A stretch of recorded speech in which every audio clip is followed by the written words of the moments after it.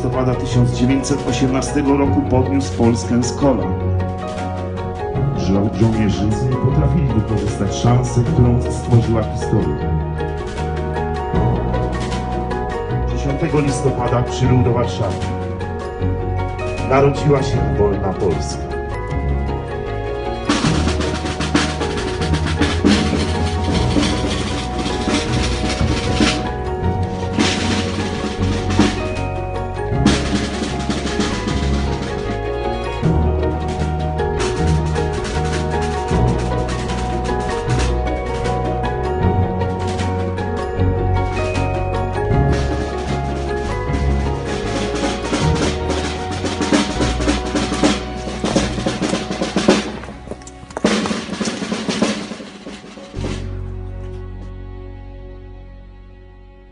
Dziękuję bardzo y, delegacjom za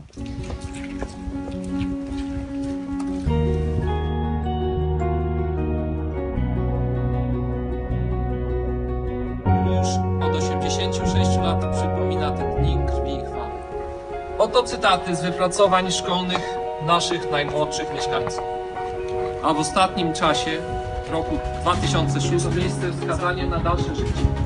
A rady tej udzielił nam Dziękujemy panu Arturowi. Czy jeszcze ktoś z gości chciałby zabrać głos?